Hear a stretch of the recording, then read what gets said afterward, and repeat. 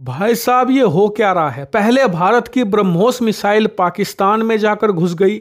उसके बाद अब से तीन चार दिन पहले खबर आई कि भारतीय वायुसेना के लड़ाकू विमानों से बॉम्ब, जो कि एयर स्टोरेज बॉम्ब्स थे, अचानक गिरने लगे और पाकिस्तान की सीमा के करीब आकर गिरे।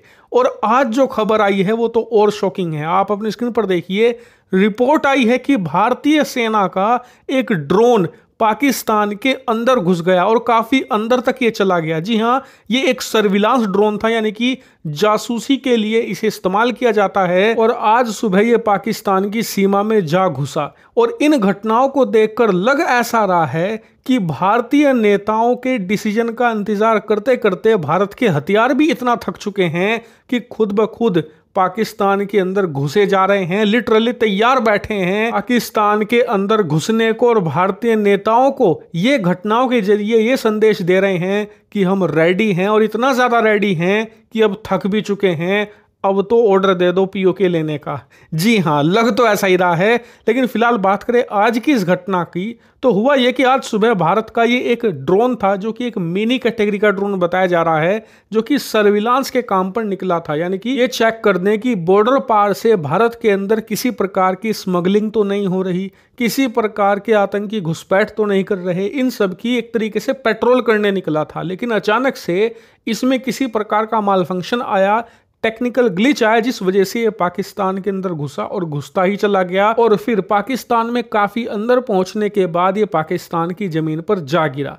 अब इस चीज़ को लेकर दो अलग अलग कॉन्फ्लिक्टेड रिपोर्ट आ रही है। पहली ये कि पाकिस्तान के रेंजर्स ने जो पेट्रोलिंग करते हैं भारतीय बॉर्डर पर, उन्होंने उसे ढूंढा। इसके अलावा दूसरी रिपोर्ट यह है कि भारतीय सैनिकों ने रिपोर्ट किया पाकिस्तान को कि हमारा ड्रोन तुम्हारे देश में आकर गिरा है।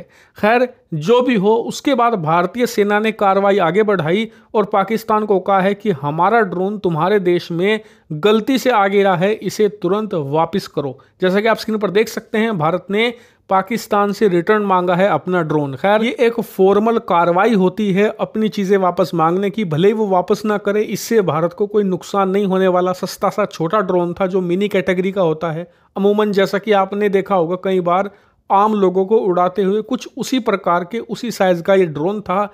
और इसके पाकिस्तान में पहुँचने से या पाकिस्तानी सेना के हाथों में पड़ने से भारत की कोई भी खुफिया जानकारी लीक नहीं होने वाली। यानी कि चिंता की बात फ़िलहाल कोई नहीं है और आपको बता दूँ कि ऐसे छोटे मोटे एक्सीडेंट होते रहते हैं। इतनी बड़ी सेना है, इतना बड़ा देश है, इतनी बड़ी बॉर्डर है, इस प्रकार की घटनाएँ होती रहती हैं। लेकिन देखने वाली बात यह है कि पाकिस्तान की सेना हमारा ड्रोन अब वापस करती है या फिर वापस ना करके इस बात का बतंगड़ बनाकर भारत को बदनाम करने की कोशिश करती है भारत पर, गलत आरोप लगाती है। ये अब आने वाले समय में हमें पता चलेगा, लेकिन इस पूरी घटना पर आपका क्या व्यू पॉइंट है? कमेंट करके बताइए।